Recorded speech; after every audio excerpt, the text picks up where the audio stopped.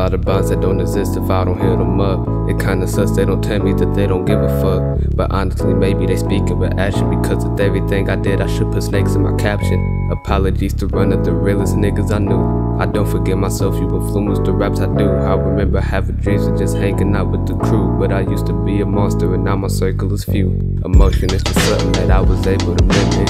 Now I'm taking notes of this death note that I've written. Remember, I was trying to be good friends with my ex, but when I heard I tech. And it's not that I'm building up animosity, I just had to grow and we moving up in velocity. It would be a lie if I said that I wasn't salty at first, but we both did dirt, and now I've gone through my worst. I guess that's karma. Peace out for my ego, I pay in price like it's Klarna. Trying to save face like objection, objection, honor. But you can't have face if you never had any honor. There's so many codes a nigga broke.